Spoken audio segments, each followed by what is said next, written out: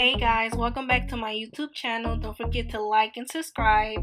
Let me know how you feel about this channel and also might as well just ring the bell and get notifications when I post my videos because when I say baby, it's about to be lit, okay?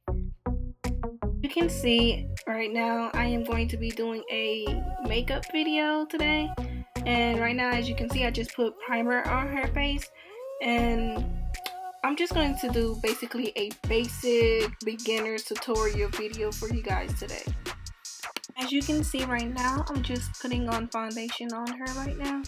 And I'm using the Real Technique makeup brush, foundation brush. And the foundation that I'm using today is the Maybelline Stay 24 Hour Stay Foundation Matte Finish. And that foundation a little bit goes a long way. You do not need to basically cake up the foundation on your face. Just a little bit and it'll just cover almost all your blemishes. So let me know if you guys are feeling her hairstyle because I can give you guys a nice tutorial on how to achieve this hairstyle also. After applying the foundation, I'm going to do her eyebrows. And as you can see, I use my spoolie brush from Bobbi Brown to brush out her eyebrows. And I'm going to use a brown eyebrow pencil that I bought from my local hair store. And you can find this at any of your local hair store for like a dollar. You're filling in your eyebrow, you must basically fill it in lightly. Do not fill it in too dark so it doesn't come out too basically square-ish and too dark. But however, if it comes out dark, there's a trick way that I can tell you how to basically make it go back to kind of looking light and natural. And after filling in the eyebrows, please, please brush it out and blend it in. Like brush it out and blend out that eyebrow pencil because it will look basically squarish and too dark.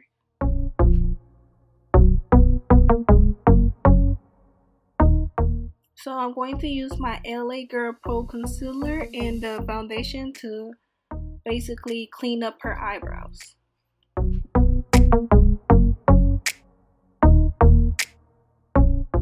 When you're cleaning your eyebrows, it is better to use the concealer at the bottom and the foundation at the top because if you use the concealer at the top, you can basically see a light outline of your eyebrows around your eyebrows when you're done with your makeup and that don't look good.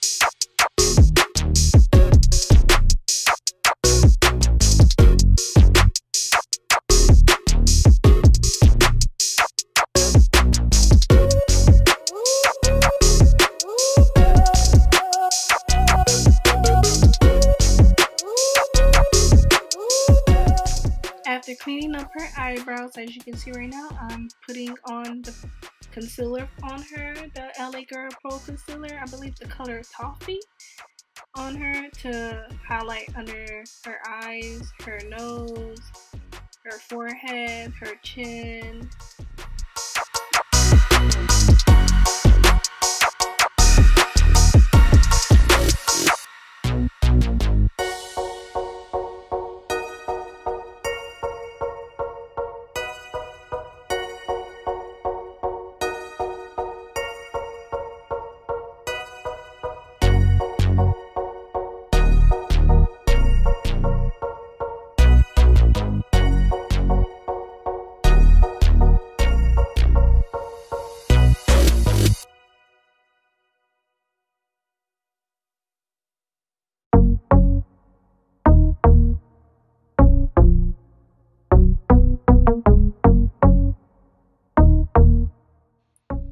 Applying the concealer, I let it sit for like 30 seconds before I start to blend it. And right now, as you can see, I'm using the Real Technique Beauty Blender to blend out the concealer.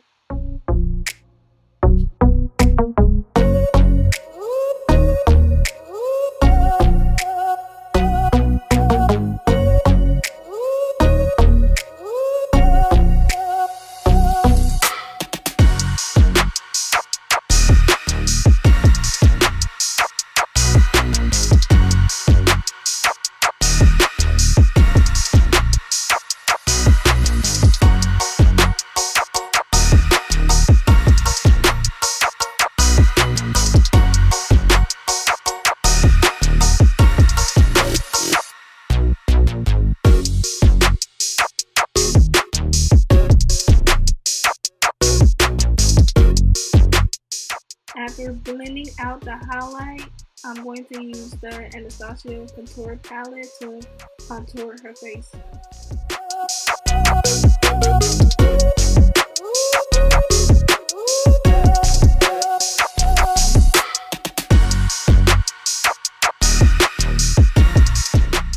When you're blending out your contour, you must brush the makeup, the contour section, in an upward circle motion so it may blend into your highlight.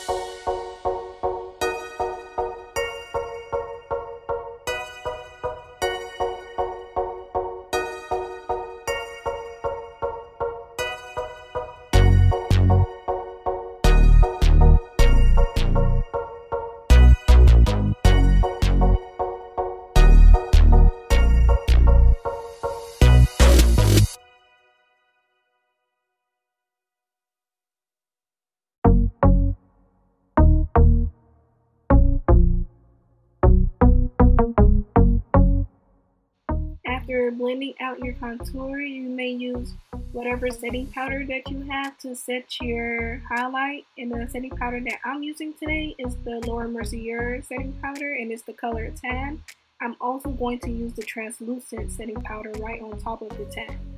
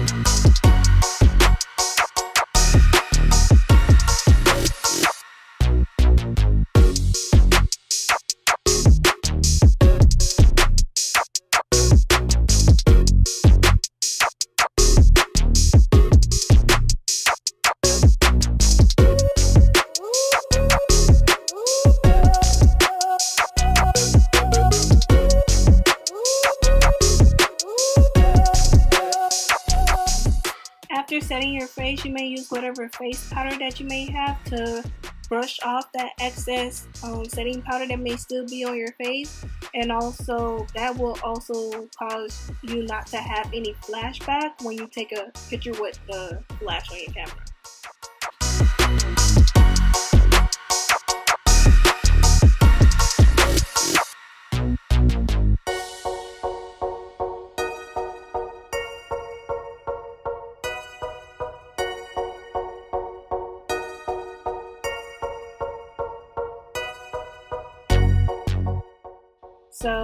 Did this totally backwards. I was supposed to do her eyeshadow first before I even put um, foundation and anything else or whatever. But as you can see, I'm putting concealer on her eyelids again to base the eyelid so I could prep it before I start doing her eyeshadow. So the palette that I'm using today is the Anastasia Subculture palette and the eyeshadows that I'm going to be using today is the Axis Untamed and Electric on this palette. And as you can see right now, I'm using the Untamed color. It's that dark um, army green color on the palette. And with this color, I am using it as a base to basically bring out the other colors that I'm going to be using on her face and I'm using a brush from my BH Cosmetic brush sets that I have and blending in that eyeshadow under her eyelid.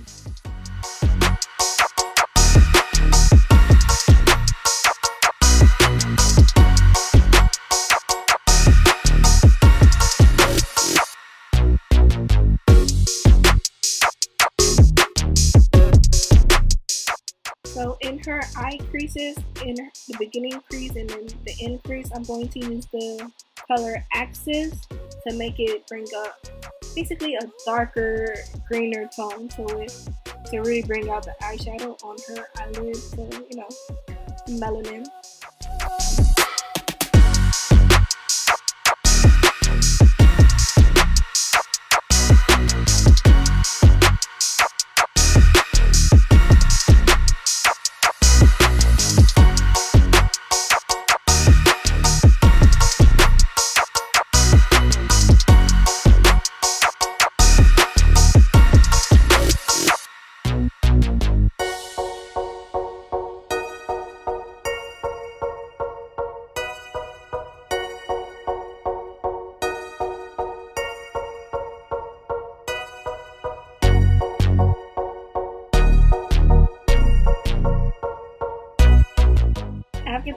On the eyeshadows and blending them out, I'm going to use the electric color, which is a shimmery greenish olive color, which is super beautiful.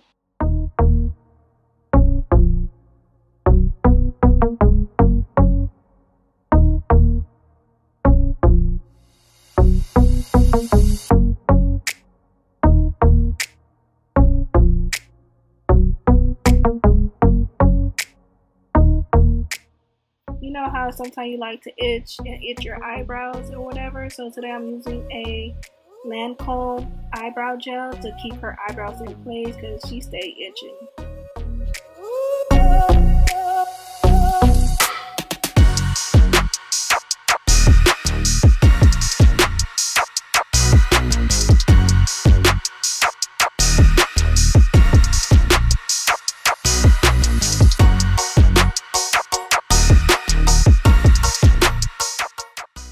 Liquid liner that I'm using today is the e.l.f. Liquid Black Liquid Liner.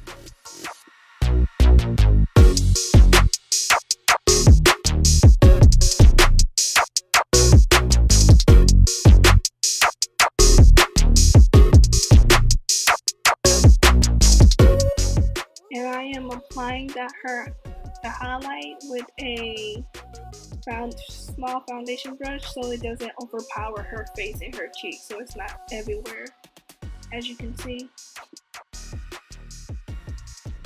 As you can see I am brushing any excess highlighter that is left on her cheeks so it's like not all over her face and just glittery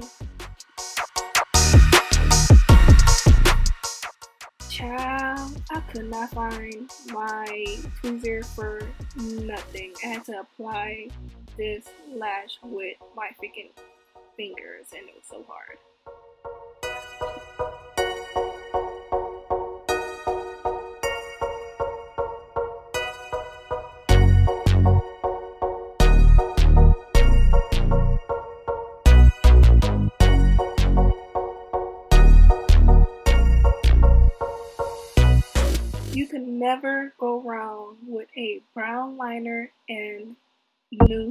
Lip gloss. I'm telling you, as a black girl, you can never go wrong with a brown liner because when I say your lips gonna be looking juicy, okay? Juicy.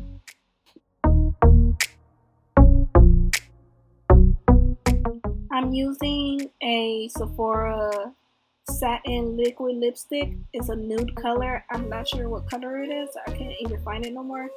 But basically as a base color before I apply the lip gloss on top of that base color.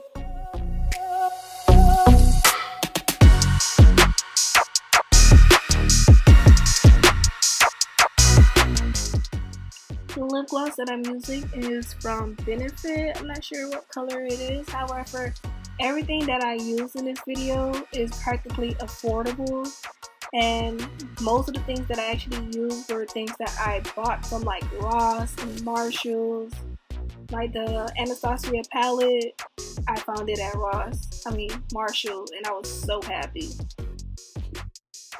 you can see after finishing um, fixing her hair and basically trying to get the whole look together you know trying to get some pictures in before the night is over.